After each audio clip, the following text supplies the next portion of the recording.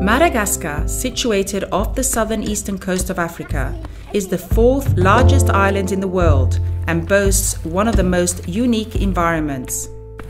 But despite a wealth of natural resources, the country remains one of the world's poorest and heavily dependent on foreign aid. In the last decade, social and environmental changes have driven many people in Madagascar to increasingly migrate within the country and abroad in search of opportunities.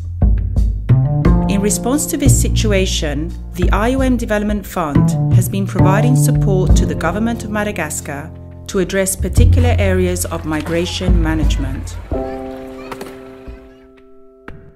Labour migration has always been a reality in Madagascar but the number of departures increased significantly with the effects of the political crisis of 2009, when hundreds of thousands of jobs in the formal sector were lost.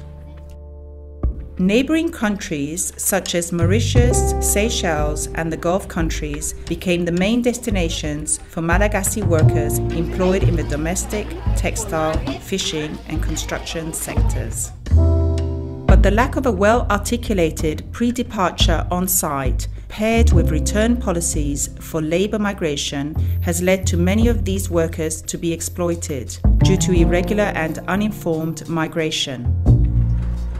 Eh, J'ai parti travailler à l'île Maurice comme un charpentier pour aller là-bas.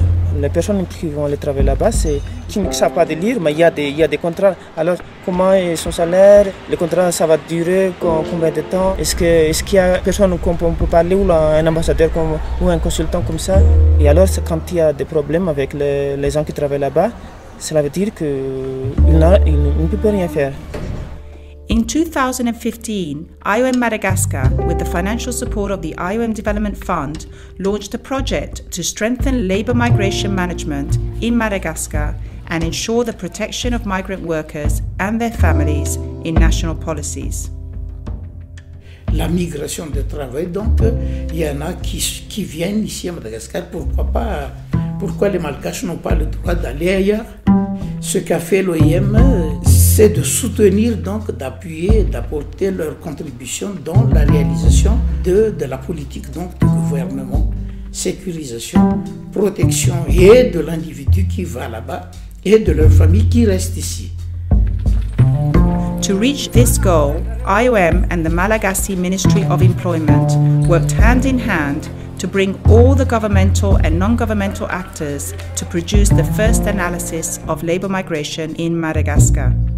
In February 2016, the project concluded with the development of a roadmap to ensure that by 2020, migration for the purpose of labour can be leveraged to benefit the country's development. Since its creation, the IOM Development Fund has implemented hundreds of successful capacity building projects worldwide. To learn more about the IOM Development Fund activities, please visit our website.